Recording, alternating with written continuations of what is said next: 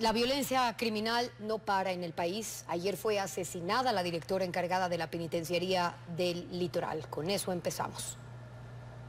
Así es, la directora encargada que fue asesinada este jueves no tenía custodia a pesar de ocupar un cargo de alto riesgo en el sistema penitenciario. Diego Cuenca informa que la víctima laboraba desde hace 11 años en las cárceles.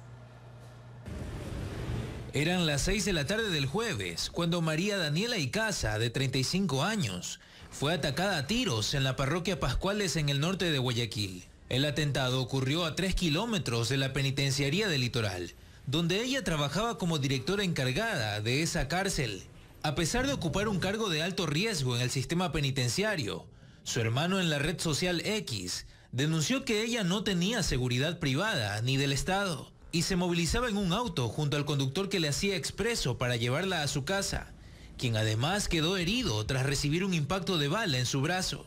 Lo que pudimos ver eh, el día de ayer fue que no, que ellos no contaban con custodia y por eso recibieron este atentado. Según criminalística, los sicarios que iban en moto dispararon cuatro veces contra Icaza, quien murió en la ambulancia mientras era trasladada a un hospital. El Servicio Nacional de Atención a Personas Privadas de la Libertad de SNAI indicó a Televisazo que la funcionaria laboró en esa institución desde el 2013.